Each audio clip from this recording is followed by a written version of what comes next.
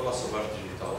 Vou dar assim uma pequena introdução para ficarmos a saber o que é, que é arte digital. Ora bem, arte digital, o que é? A arte digital é uma arte que é produzida a partir do computador, é uma arte uh, computadorizada. Uh, Utiliza-se o computador como ferramenta para fazer arte, como a própria diz, arte digital. Uh, Pode-se fazer várias coisas. temos desde imagens, fotomontagens, uh, e muitos, muitos mais uh, objetos. A arte digital veio de uma, de uma consequência da evolução tecnológica dos computadores, que aconteceu na segunda metade do século XX. Uh, em 1960 criámos os primeiros circuitos integrados, que deram origem aos meios de, de informática e de, e da arte digital. Uh, a arte pode ser utilizada em dois tipos de processos, os processos digitais e virtuais. Uh, nisso inclui experiências com NetArt, uh, WebArt, VideoArt e muitos outros tipos de, de arte na internet. A NetArt centra-se numa arte realizada exclusivamente para o meio da internet, ou seja, é feita, concebida mesmo para ser exposta na internet como arte, em vez de ser em papel, é na internet. Uh, a NetArt é conhecida como arte telemática ou, ou computer art, no termo inglês. A web art tem mais a ver com a decoração dos, dos websites. Por exemplo, uma, as empresas gostam muito de ter uma boa aparência com os seus websites, chamar a atenção. Tem muito a ver com a decoração dos sites, os módulos que usam para eles, os tipos de letras, os backgrounds, e tem tudo a ver com isso. O video art tem a ver muito mais com os edits, por exemplo, fazer uma, digamos, uma montagem do vídeo. Utiliza-se muito o, o programa Adobe After Effects, dizem que é o melhor de todos, que dá para fazer muitos efeitos. Por exemplo, fazemos uma filmagem numa escola, com o programa podemos simular uma explosão, fazer tudo com, com os efeitos que dá nesse programa. O que, é que são os edits de vídeos? É fazer as edições tipo é, mas é um termo específico, é dito. É, é dito, pronto. Tá Dentro da arte digital existem várias categorias. Existem as artes das pinturas e gravadoras digitais, existem os programas de modelação 3D, edição de fotografia e imagens, animações e muitos mais. Dentro dos programas de pintura digital, como você deve conhecer, o Adobe, o Adobe Photoshop é um dos melhores que existe para fazer as as pinturas. Isto está de ordem com do melhor para o. está no top dos 4 melhores programas para fazer as pinturas. Tem aqui, por exemplo, exemplos de desenhos que pode-se fazer com o Photoshop. Este desenho foi feito pelo programa em questão. Eh, como podem ver, tem uma boa qualidade gráfica. Posso fazer muitos uh, sombras, luzes e muito desses géneros. Estes foram feitos pelo Coral Painter Pose. Estes aqui é um bocadinho mais fraco, por isso é que está no, no terceiro lugar. Tem assim uma, uma qualidade um bocadinho mais ainda para o esboço, não está assim tão aprofundado.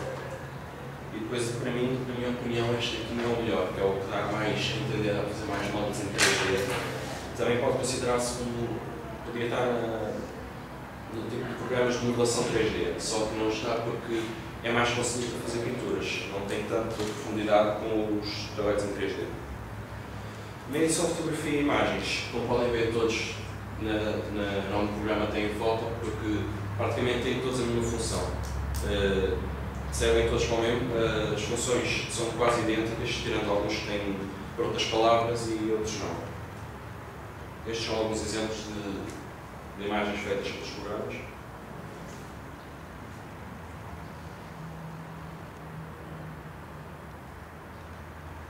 Como podem ver, a arte pode ser feita através do computador, não tem que ser necessário uh, fazer em papel, não pode ser feita no computador. Estes são alguns programas de modelação, como disse há bocado, vim podia estar cá, mas neste caso não está. Uh, tentei selecionar estes quatro programas, que, que, para mim, na minha opinião, o melhor de todos é o SketchUp. Uh, todos estes programas podem ser feitos com uma mesa digitalizadora que serve, tem um sensor na ponta da caneta em que tudo o que se faz nessa tal mesa é transmitido para o computador. Dá aos artistas um, uma, uma expressão de traço mais leve, dá mais uh, espaço para desenhar. As dimensões que são utilizadas neste tipo de arte são, uh, são as 2D, uh, são as, as que estão, não estão em 3D no computador, aparecem em 2D. Os, os, os os artistas usam técnicas, como já disse há bocado, em mesas de digitalizadores, para ajudar no seu desempenho. O objetivo da arte digital é dar uma vida virtual às coisas e mostrar que a arte não é só feita à mão. É prova disso, por exemplo, não sei se conhece, tem todos devem conhecer o Microsoft Paint, que é o que já vem nos computadores. Até com esse programa se pode fazer arte. Tenho aqui um vídeo que pode mostrar isso. Quero passo.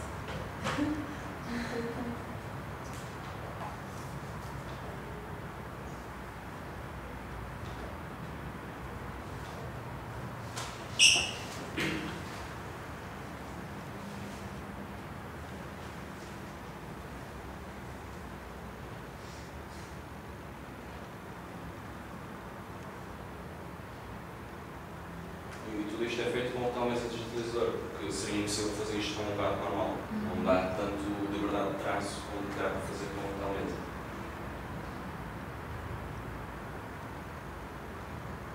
Isto é tudo feito com funções muito simples que qualquer pessoa pode fazer desde que tenha jeito para, para fazer, porque os, as opções que têm no Paint para fazer o trabalho são coisas mesmo muito simples e se pessoas sabem trabalhar com isso conseguem fazer obras